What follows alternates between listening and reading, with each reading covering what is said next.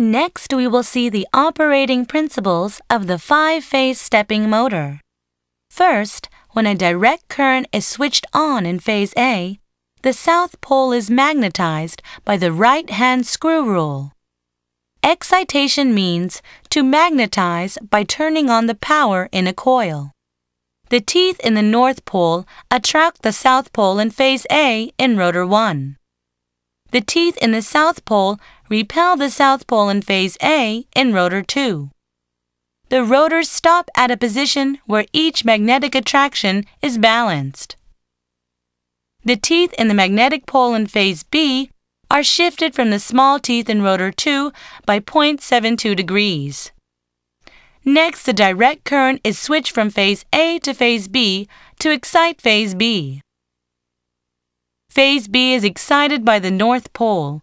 The teeth in the south pole are attracted to rotor 2. The teeth in the North Pole are repelled by rotor 1, and the rotors rotate until each magnetic attraction is balanced. The rotating angle, 0.72 degrees, is the basic step angle of the five-phase stepping motor. By switching the excitation from phases A through E in this order, the rotors are rotating step by step at exactly 0.72 degree intervals. when you change the coil excitation order from phases A to E, D, C, and B, the direction of the rotation is reversed.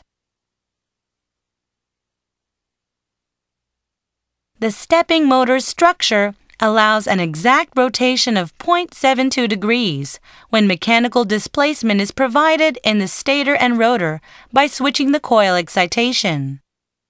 This is why the stepping motor provides high precision and high resolution positioning by the motor itself without a sensor.